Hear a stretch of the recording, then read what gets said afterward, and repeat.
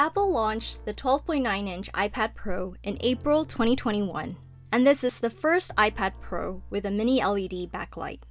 Display Supply Chain Consultants, or DSCC, forecasts that mini LED backlight panel shipments will rise from 8.7 million units in 2021 to 55.8 million units in 2026. The 45% CAGR growth rate should come as no surprise, as mini LEDs offer many advantages for LCD displays. Most notably, higher brightness, better contrast ratio for high dynamic range, and energy efficiency. Adding a color enhancement film, such as the yellow film you see here, boosts the color performance of LCD displays. Color enhancement films allow digital content to be shown in a wider range of colors. The display industry measures range of colors based on color gamut standards, and the three main ones today are Adobe RGB, DCI-P3, and Rec 2020. The area within the triangle represents the range of colors each standard covers. For instance, if a display has 90% DCI-P3 coverage, this means it is able to produce 90% of the colors in the DCI-P3 standard. In this video, we'll be measuring and comparing the color performance of different color enhancement films, starting with the original color enhancement film that comes in the 12.9-inch iPad Pro. When a yellow film, which comprises of red and green materials, is placed in front of the blue backlight, the colors red, green, blue, and white are produced on screen.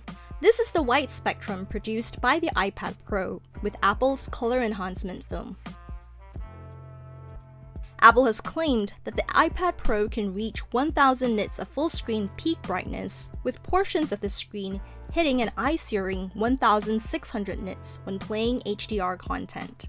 From the luminance value of 1553 nits, we know Apple was not kidding. This high level of brightness is not even attainable by OLED displays, as it leads to the risk of screen burn-ins. In reality, peak brightness levels are seen at this level in bright sun, lights, and fire.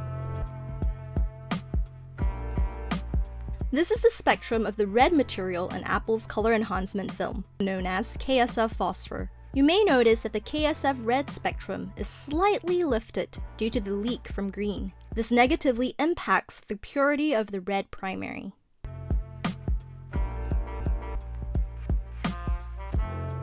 This is the spectrum of the green material in Apple's color enhancement film, a phosphor with full width at half maximum of 45 nanometers after the color filter. The current 12.9-inch iPad Pro covers 89% Adobe RGB, 99% DCI-P3, and 75% Rec 2020 color. We will now replace Apple's color enhancement film with Nanolumi's Chameleon color enhancement film to measure the shift in color performance and brightness.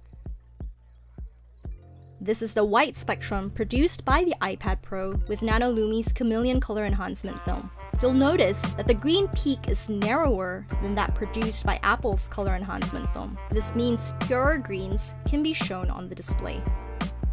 At a luminance value of approximately 1400 nits, the brightness achieved is beyond the standard 350 to 600 nits of tablets, and comparable to the peak brightness level of Apple's color enhancement film.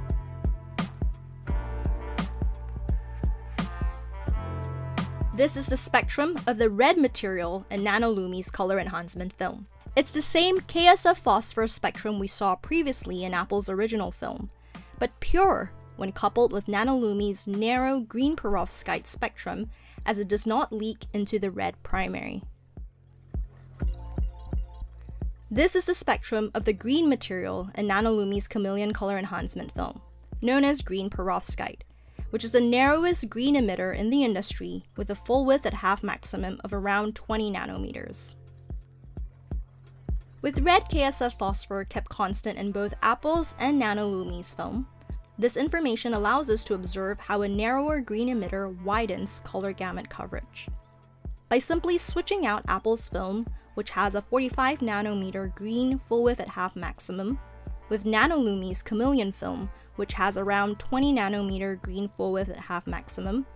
We enhance the color performance of the iPad Pro, allowing it to cover close to 100% Adobe RGB, 100% DCI-P3, and future-proof it with 83% Rec 2020. In our tests using other color filters, we have also achieved more than 90% Rec 2020. Given the photopic nature of the human eye, greens in the RGB primaries have a major impact on how our eyes perceive colors on a display. Thus, the green emitter technology plays a critical role in how the viewer rates the overall color performance of the display. Perovskite is the narrowest green emitter in the world, enabling the purest, brightest, widest range of colors in displays.